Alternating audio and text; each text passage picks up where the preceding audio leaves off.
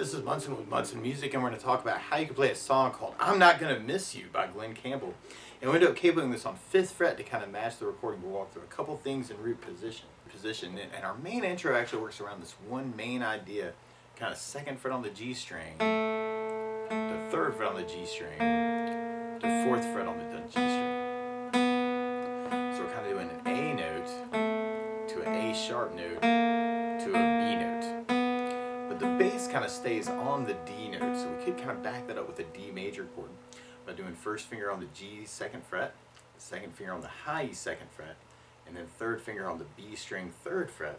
And if you strum the D string to the high E string, that sounds a D major chord and it sounds really happy. around D's in general though, you may want to lift off the second finger, always a fun finger lift. It's a D sus2. Or you could add in the pinky on the high E third the D suspended and kind of say some stuff around the D chord or you may want to follow that lick actually, and you could kind of start on the D major but then for the third fret on the G string, you may want to do first finger on the high E second, second finger on the G third, third finger on the B string third. That makes a D augmented chord or D plus. And then from there we can kind of go into kind of a D major six actually, kind of first finger on the high E second, second finger on the B third, third finger on the G string on the fourth fret want to kind of even follow just that idea, actually kind of working that G string around the chords to kind of match that piano part of the intro. Or you could use a strum pattern actually. There's a couple different strummings you may want to use through the tune. You could kind of double up on that actually, kind of a one, two, three, four, five, six, seven, eight, kind of an eight down count on each chord. And if you want to get in the lick, actually, you want to do kind of four on the D, four on the D plus, and then four on the D major six major, one, two, three, four, D plus, D major, six. If you kind of dig on that, it's kind of a D lick through the tune. Or one of my favorite strum patterns for a 4-4 like this is down, down, up, up, down, up. So we took the D and just tried that a lot. You'd have down, down, up, up, down, up, down,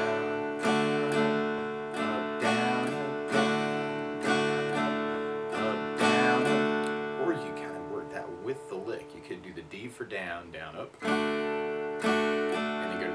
for down, down, up. And then go to the D major six for down, down, up, up, down. So me kind of working, I think I'll work that, that way too. Down, up, D plus, D major six. Or you can almost kind of half the pattern between the D and, and the D augmented. I'm doing D with a down, down, up, and then going to D augmented for the up, down, up. Or you may want to do the D with a down,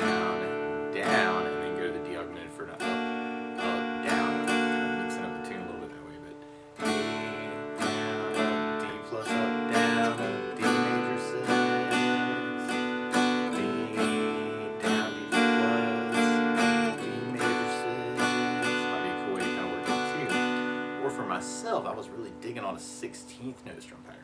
And what I mean by that is if you're tapping your foot to the beat, right now we're dividing that beat into two parts with our down, down, up, up, down, up. One, two, one, two, and that's called an eighth note. What a 16th note is, is where you divide that into four parts. One, two, three, four, one, two, three, four. And one of my favorite 16th note strum patterns is a long down, down, down, up, up, down, down, up, down. And what I mean by that is if you take the D and do it down for four,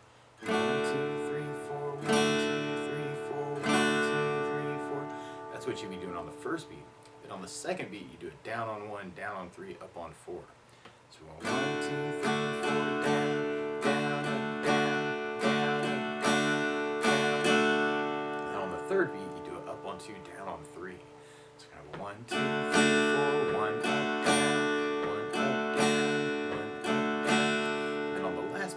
down, up, down, up, right along with the one, two, three, four. So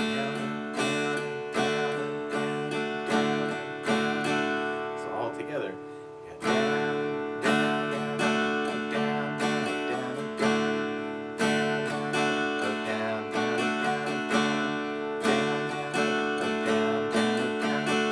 want to get in that leg, you can do the D with a down, down, down, up. And then go to the D plus for down, down, down, up.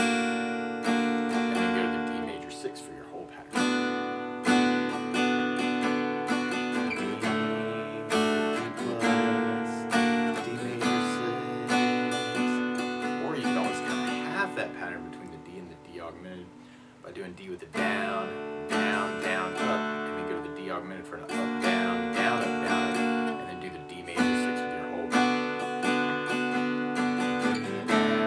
down, down, D plus up, down, down, up, down, and D major six. So you want to kind of dig on that too. And then we'll basically be repeating that idea through our verse and then going into our first chorus. And on our first chorus, we start on a G major chord. And normally you do this first finger on the A second, the second finger on the low E third, third finger on the high E third, and if you strum all those together, all the beautiful sounds of G major. Now, you may also dig on putting third finger on the B third, pinky on the high E third. Kind of working that slightly more powerful G major. And then from there, we'll be going back to our D major chord, but you'll definitely hear the low E string second fret F sharp note come out around that D major. So you may want to take the thumb and kind of cover that low E second fret, or you may dig on a D sus slash F sharp by doing first finger on the low E second, second finger on the G second, third finger on the B third, pinky on the high E third. It might make that a little bit easier to get from that four finger G to the D slash F sharp or D sus slash F sharp. And then we go to into an E minor chord. I normally do that first finger on the A second, second finger on the D second. And if you strum all those together, it sounds an E minor chord and it sounds so sad. Um, now you may also want to add in third on the B third, pinky on the high E third. Kind of work that E minor seven. And it's almost like we're halving the G and the D sharp or D slash F sharp in a similar way to how we were doing the D and the D augmented. So you've got G for four, D slash F sharp for four, and then E minor for our full count of eight. And then back to G for four, Slash F sharp for four, E minor for eight, and then we end up on an A major chord. You normally do this first finger on the D second, second finger on the G second, third finger on the B second, big party on the second fret, man. And if you strum all those together, it sounds a big A major chord it sounds really happy. Now around A's in general, you may dig on lifting the third finger, and then an A sus two, or you could add in the pinky on the B third for A suspended and kind of say some stuff around it. Or definitely for this key, actually we're, we're in the key of D, um, we, you could make it an A7 chord by lifting off the second finger, always a fun finger to lift. Or you may want to readjust the fingers and put two on the B second, pinky on the high E third. Give it a little bit more bite, so we kind of dig on it. And we do our full eight count on the A, and then we do a big A is kind of a big stop, actually at the end. So we try that with our down, down, up, up, down, up. We'd have kind of that G, down, up, D slash F sharp, E minor, G, D slash F sharp, E minor, and then our A, kind of a big down A. Or if you're digging on the 16th, you could work those, those halving ideas, actually kind of the down, down, down, up on, on the D and the D slash F sharp. Or if you're a little bit more adventurous, you could split that pattern and do the G with the down, down, down, up, and then go to the B slash F sharp for the up, down, down, up, down. So try it that way. And then G, D slash F sharp,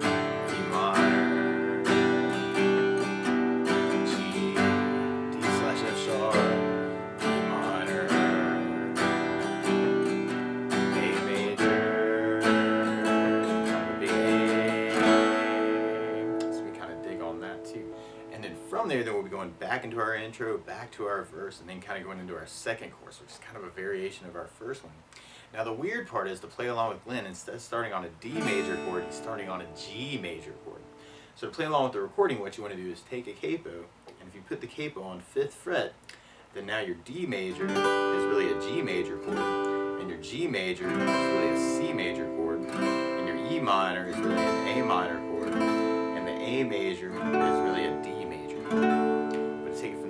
beginning, actually, we might want to work just that intro idea, kind of working that D chord, D augmented, D major six, D major, D augmented, D major six, kind of an idea. Or you could use the down idea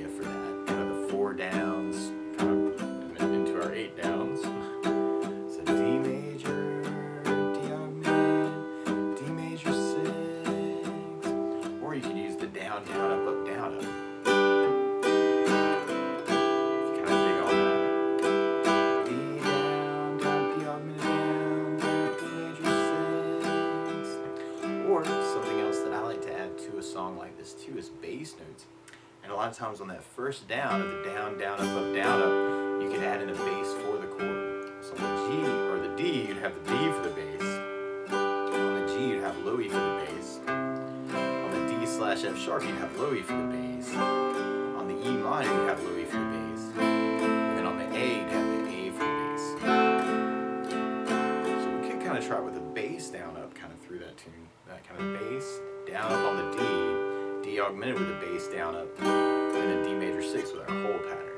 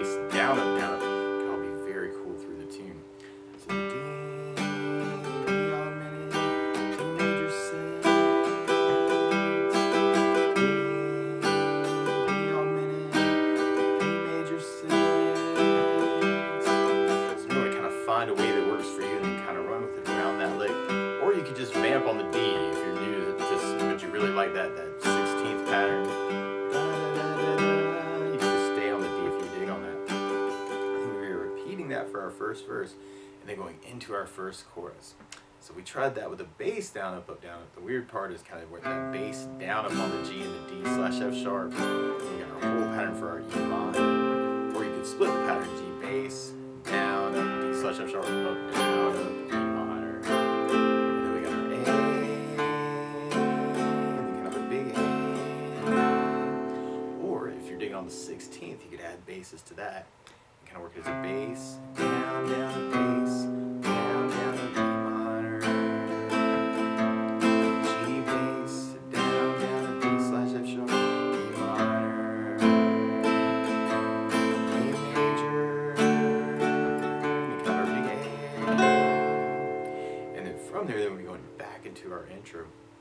And you may want to just work it as just the down idea, actually kind of just following just that lick. Kind of working it that way. Or you could kind of work the bass down, up, up, down, up.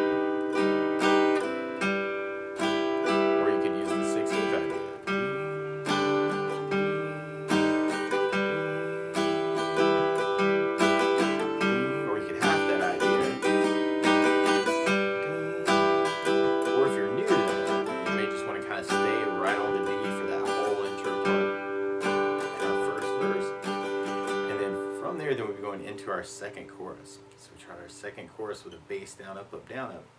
We have the G, D slash F sharp,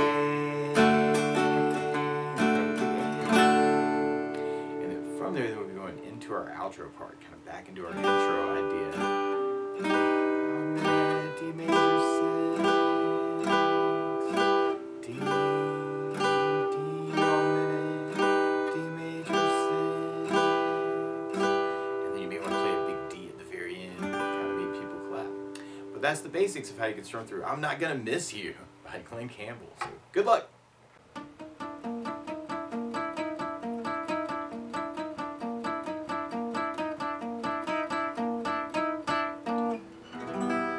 Hi, wherever you are in YouTube land. This is Munson Summer with Munson Music Live, Munson Guitar Songs, Munson Covers, and Munson Jam Tracks. Thanking you for watching this video, and I hope you got something out of this video. I hope you like this video and subscribe to the channel to see lots more like it. I'm always open to your requests. If you have a song that you love, please let me know so I can write it down on the request list so I can add that to it because there are probably other people out there who love that song too and would love to learn how to play it. So thanks so much for all the love that you give me and I hope that you're doing well and, and kind of figuring out how you can talk with the, the instrument. Um, we are a small music shop in the middle of nowhere in South Carolina and, and you're supporting us by, by watching this channel. Really appreciate all that love. So best of luck and, I, and let me know if there's anything that I can do to help you in, in particular too. Uh, you can contact me on Facebook. Um, you can leave a message here in the comments section and I, I respond to all the comments that, that I get. So best of luck to you wherever you are.